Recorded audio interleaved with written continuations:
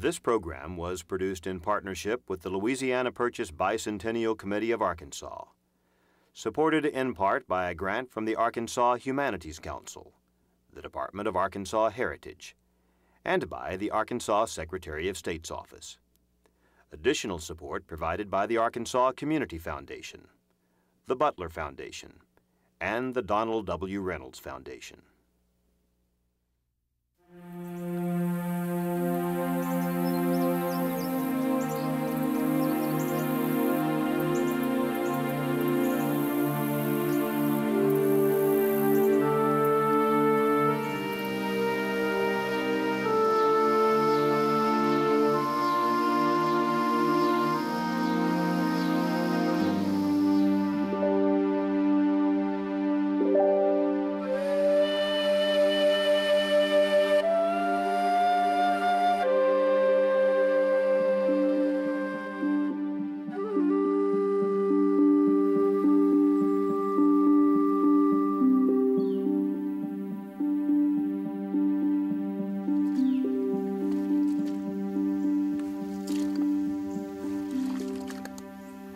It started here. In this headwater swamp in the autumn of 1815, two federal land surveying teams met and marked the initial point for the territory of Louisiana. In a remote delta region of eastern Arkansas, a historic state park commemorates the spot where the surveyors established a starting point, a datum, for land surveys of the states of Arkansas, Iowa, Minnesota, Missouri, and the Dakotas. It's very important to understand that from this little obscure spot in the corner of three counties in Arkansas, the rest of the lands of the Louisiana Purchase, all the way to the Canadian border, are surveyed and tied to this spot. It's a big deal. And without it, uh, our whole system of, uh, of land ownership, which is critical to the way that the free United States of America operates, uh, in terms of land ownership, that whole system would fall apart. The baseline extending from the swamp cuts through the heart of Arkansas and its capital city. Every day, thousands of automobiles travel along Baseline Road in Little Rock. But most of these motorists have no clue as to the origin of the name of this busy street.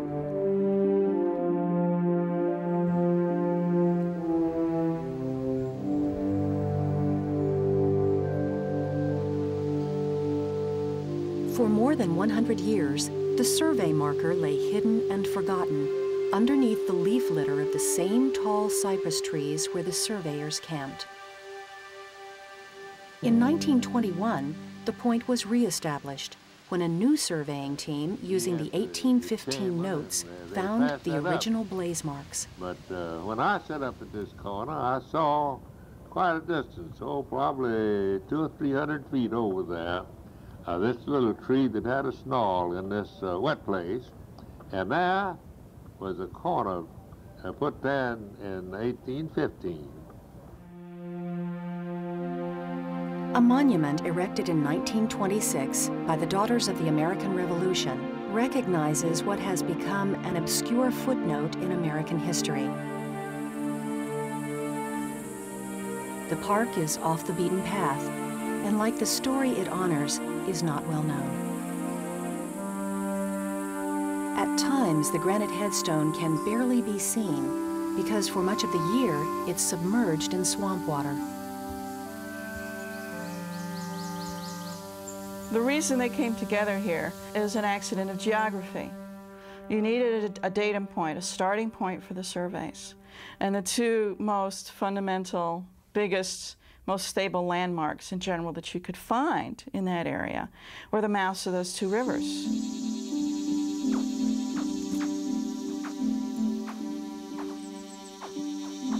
The echoes in the swamp are eerie. The sights and sounds of this place look and sound exactly the way they appeared to those federal land surveyors back in 1815. It's a walk back in time to a place where it all began.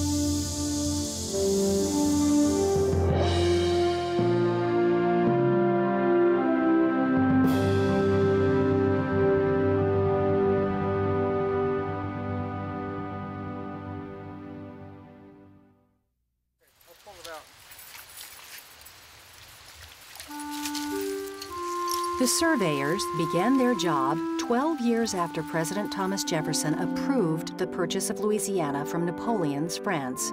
It was the best real estate deal in American history.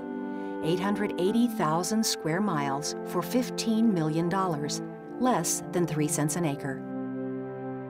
Almost by accident, uh, American diplomats in Paris were able to purchase this huge amount of territory all of the territory uh, west of the Mississippi River to the Rocky Mountains, all of the territory drained by uh, rivers flowing into the Mississippi River. Jefferson bought an area sight unseen, so he wasn't exactly sure what he was getting. And sending these surveyors out, they were really showing an American perspective of what the landscape was. The land survey was commissioned by President James Madison. The War of 1812 had been won, and a grateful yet financially strapped American government had promised its soldiers property in the new territory. Thanks to the Louisiana Purchase, the young nation had plenty of land to give away.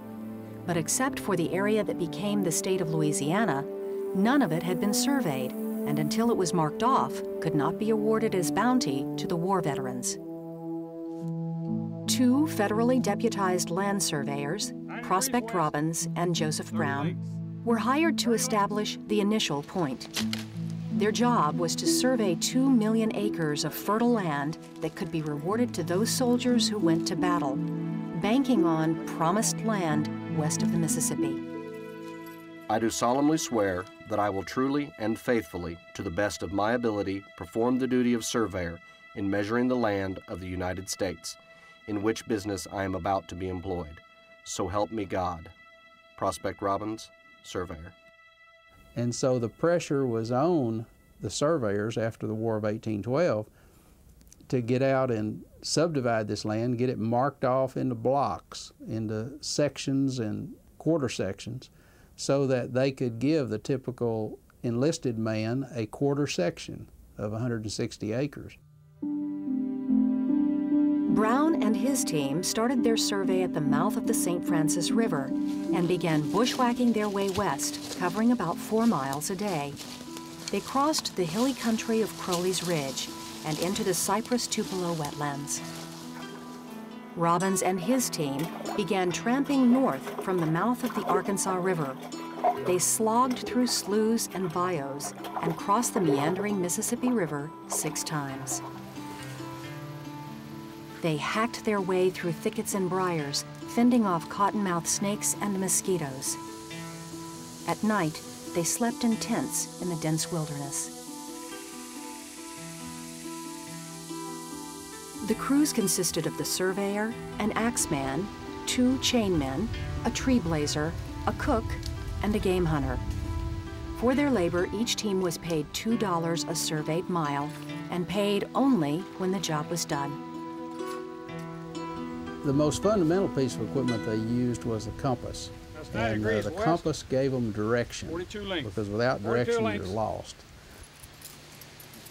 The 66 foot chain is a very ingenious system in that it divided the mile into 80 pulls of the chain. Chain! They had to blaze the trees, mark the lines, and record the trees as they went through. They recorded essentially every piece of information that they could assemble about the geography and the terrain and the, uh, the conditions of the land. October 27, 1815. This mile over very low lands, mostly canebrake, the growth, cottonwood, sweet gum, and other lowland timbers. But a hurricane has passed over the last one half mile and left scarcely a tree of any sort standing. Joseph Brown, surveyor. Wetlands encompassed about 80% of the land they crossed over. It was a country abundant in black bear and huge flocks of birds later hunted to extinction. The passenger pigeon, and the Carolina parakeet. The Carolina parakeet actually resembled a parrot, very large beak. It had brightly colored feathers that were green and yellow that American Indians and settlers both coveted and used in their hats and used for decoration. If they would shoot one of these birds, then the other birds would flock to it. And so it was very easy to get rid of a whole flock of birds.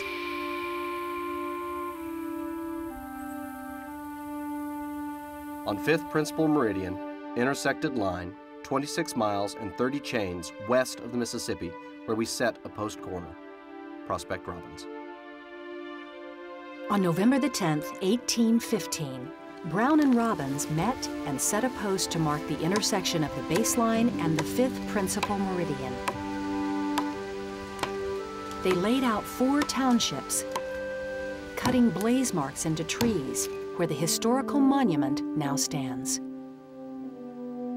Arkansas and five other states were ultimately subdivided uh, in terms of the federal original subdivision of the lands uh, based on this one point. Despite the federal government's best intentions, only a few war veterans actually received their free land, and others were not able to hold on to it. Politicians taxed the land, and property holders who could not afford to pay the taxes lost their deeds. And most of that land was then uh, essentially what? Confiscated by the state of Arkansas and then sold at very low prices to guess who? Politicians and landowners in Arkansas.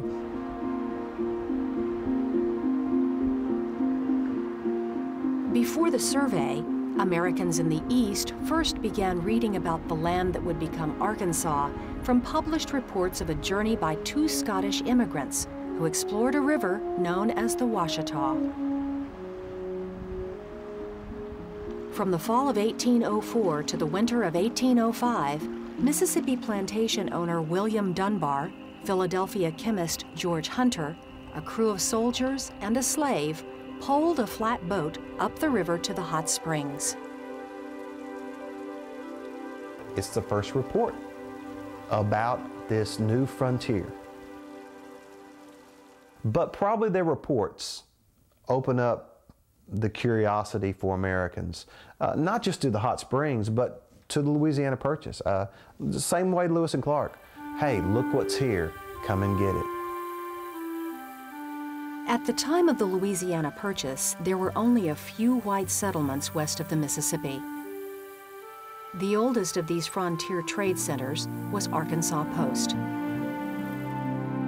Established in the summer of 1686 on the Arkansas River, almost 80 years before St. Louis, the post was a French-Canadian colony and served as a trading and military base until the end of the colonial period. This fertile lowland was the home of the Quapaw Indians, who befriended the French, the Spanish, and finally the Americans. The French called them the Aucansais, meaning downstream people. A lot of the Americans called the Arkansas Indians the Ozark Indians because the French called the Arkansas Post the Post Ozark. And so the name got transferred by the Americans to the Indians, and uh, early American uh, uh, expedition up the Arkansas River named the mountains the Ozarks after the tribe. The Quapaw grew squash, beans, and corn, and hunted buffalo and turkey. Throughout the territory, they were known for their artistry. I like to say that they were artisans. Our anthropologists, archaeologists will call them manufacturers, but they really got their subsistence by making these fabulous pots. They were known by the French for their dugout canoes. Everything they did was of a finer quality, I think, than a lot of other people that the French were dealing with. And a lot of the Indians would come in and trade with the Quapaw tribe. They had trade networks that ran all the way to uh, New England on the one hand and down to Mexico on the other. So uh, the goods moved rather freely into this part of the world long before the white people were actually here. In 1804, just after the Louisiana Purchase, the United States government took possession of Arkansas Post. It was a melting pot French, slaves, free blacks, and Indians. It's important to realize that uh, almost every class of person, white, black, and Indian, was represented in the social structure at Arkansas Post, even though it was a very small place, never more than a few hundred people. And in fact, uh, some of the early travelers said that the uh, French and the Indians here spoke a patois, that is a, a, kind of separate and distinct language that was a mixture of French and Quapaw. So Arkansas Post stands as an example of how interracial and intercultural cooperation can occur.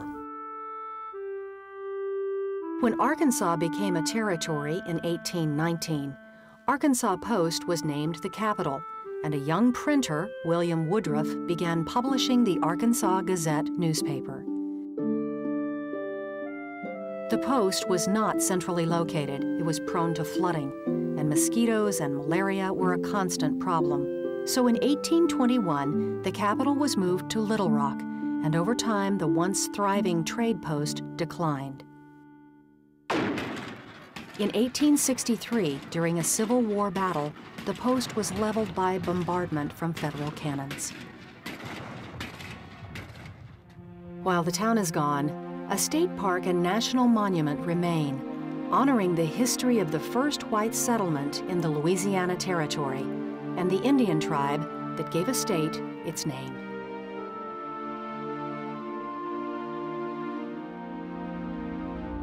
In the early morning hours of December 16, 1811, four years before the land survey, the most catastrophic earthquake in North American history shook northeast Arkansas, southeast Missouri, and western Tennessee. The ground split open, creating 20-foot deep cracks that ran five miles long. The banks of the Mississippi collapsed. Trees bowed over, and sand and gases poured out of the earth. It was of enormous power. Church bells rang in uh, Charleston, South Carolina. It was felt in Boston.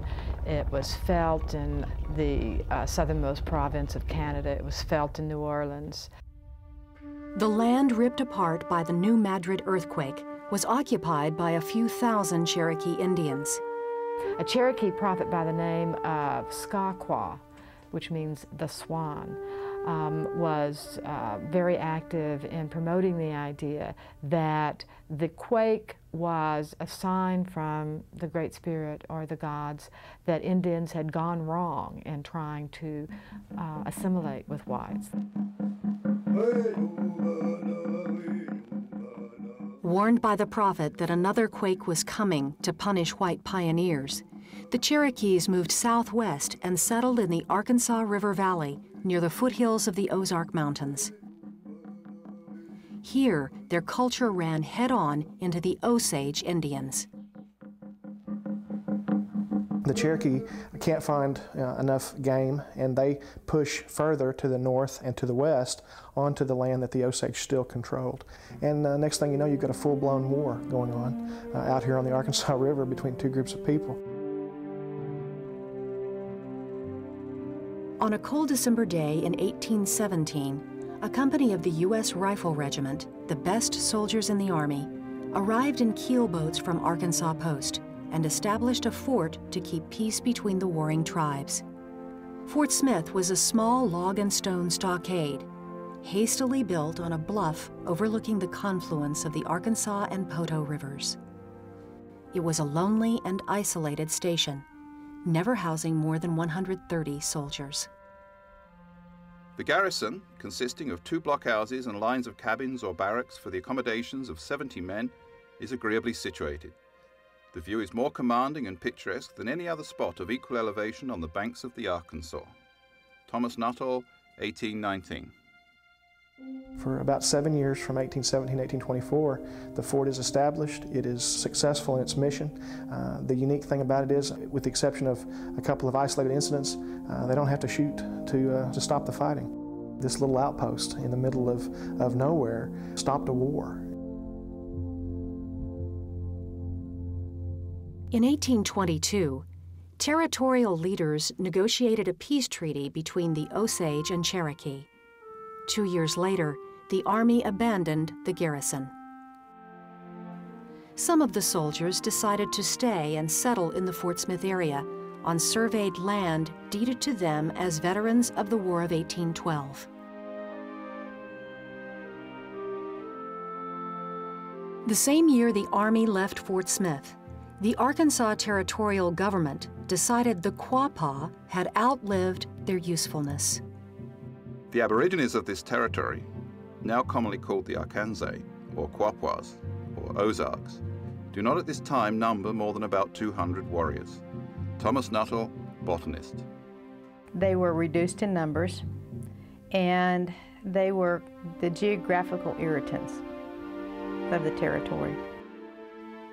Quapaw Chief Hecaton pleaded with the territorial governor to allow his people to stay in Arkansas. To leave my native soil and go among red men who are alien to our race is throwing us like outcasts upon the world. Have mercy. Send us not there. Hecatoun, Quapaw. Hecatoun's pleas were ignored, and the Quapaw signed a treaty and moved to the southwest, joining the Caddo on the Red River in Louisiana. And the Quapaws died, I think about a third of the tribe died of starvation, living with the Caddos. The lands that they were put on flooded, uh, provisions didn't come through, and a lot of the Quapaws escaped back into Pine Bluff. But the Quapaw were not welcomed back. In 1835, one year before statehood, the Aucansay Indians were removed to the northeast corner of Oklahoma, where to this day tribal members make their home. The territory of Arkansas included the present-day states of both Oklahoma and Arkansas. In 1836, when Arkansas was admitted to the Union as the 25th state, Oklahoma was cut off, becoming Indian Territory.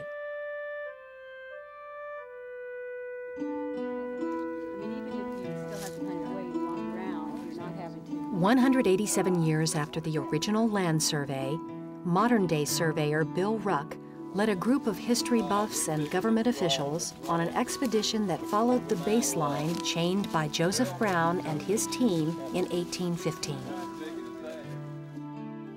They started at the mouth of the St. Francis River and for three days hiked through marshy bogs and climbed over the steep hills of Crowley's Ridge, passing ancient blaze marks along the same 25-mile path recorded in Brown's journal.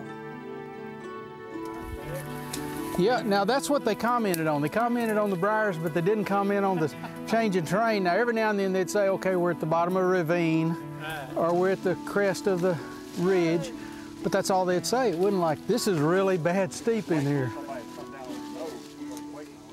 Here they are. Oh, yeah, here they're coming this way. Okay, you see it? Located in a rural, out-of-the-way place, the Louisiana Purchase Historic State Park has been preserved as a national landmark.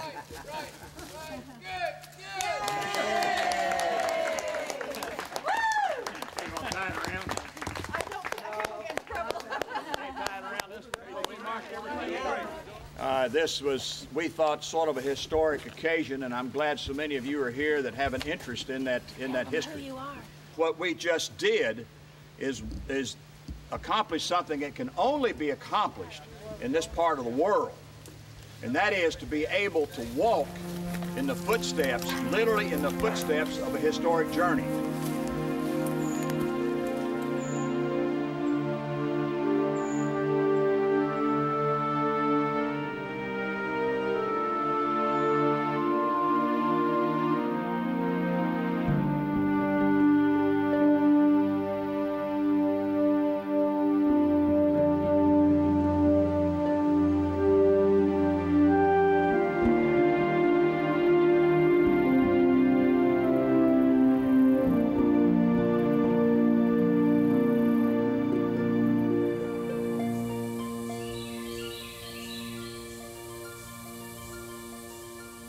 Event memorialized here could have occurred anywhere west of the Mississippi River. But of all possible places, The Louisiana Purchase Survey began in remote eastern Arkansas, in a swamp between the mouths of the Arkansas and St. Francis rivers. And having established that point, you see, then you could go on and, uh, and, and, basically continue the, the survey essentially the rest of the country. But you have to have a starting point, and that's what's critical about that spot over there uh, in the middle of that swamp. Lay your line both north and west across this swampy wilderness, from Quapaw land to where Lakota roam. Wheels will turn and time will tell where tribe and settler finally dwell. But for millions yet to come, this will be home. Starting here, we will measure all our prairies starting here. We'll take stock of all our hills from the marshes to the mighty Teton Mountains, chain by chain, we'll mark our future starting here.